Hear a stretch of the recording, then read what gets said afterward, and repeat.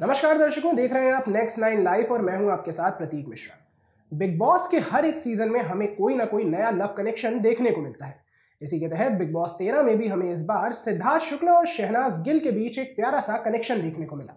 Public को भी उनकी ये लव स्टोरी कहें या उनकी ये दोस्ती बहुत ही ज़्यादा पसंद आई। सोशल मीडिया पर भी उनका एक हैश टैग सिडनास ट्रेंड करने लगा।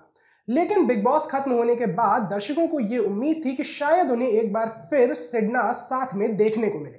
तो एक बार फिर सिडनास बड़े पर्दे पर साथ आने वाले हैं। आखिर क्या है इसके पीछे की पूरी स्टोरी? जानने के लिए देखिए हमारी ये खास रिपोर्ट। तो दोस्तों, अगर आप बिग बॉस के बहुत बड़े फ़ैन हैं और आपने बिग बॉस के अब तक के सारे सीज़न देखे हैं तो आप साल 2013 में आए बिग बॉस सीज़न सात की हिट जोड़ी गौहर खान और कुशाल टंडन को जानते ही होंगे। अगर आप नहीं जानते तो हम आपको बता दें कि बिग बॉस सीज़न सात, जिसमें गौहर खान और कुशाल कंटेस्टेंट के रूप में आए थे, और शुरुआत में इन दोनों के बीच काफ़ी तनाव थे। लेकिन जैसे जैसे सीज़न बीतता चला गया, इनके बीच एक रिश्ते की डोर बंधने लगी। तो वहीं सीज़न के खत्म होते होते इनका ये रिश्ता इतना मज़बूत हो गया कि ये दोनों एक रिलेशनशिप में आ गए। साथ ही आपको बता दें कि Gauhar Khan Bigg Boss season सात की विनर रही। अब साल 2014 आते आते इनकी ये जोड़ी और भी मशहूर होने लगी। तो वहीं इनकी मशहूर जोड़ी को लेकर उस्ताद राहत फतेह अली खान ने एक गाना बनाया और गाने का नाम है ज़रूरी था, जिसको आपने सुना ही होगा, क्योंकि ये गाना जब रिलीज़ हुआ तो साल 2014 का सुपरहिट सॉन्ग साबित हुआ। साथ ही आज भी इस गाने को खूब सुना जाता है।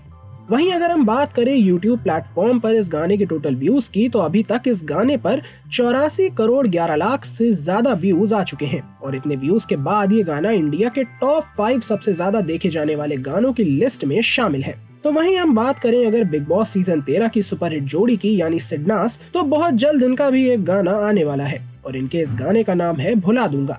जहाँ हमें ये साफ़ देखने को मिल रहा है कि सिद्धार्थ शुक्ला और शहनाज गिल के इस गाने को लेकर फैंस काफ़ी एक्साइटेड हैं। और हम देखें तो पाएँगे कि Siddharth Shukla Bigg Boss season तेरह के विनर भी हैं। तो ऐसे में सिडनास की जोड़ी का अपकमिंग गाना भुला दूँगा।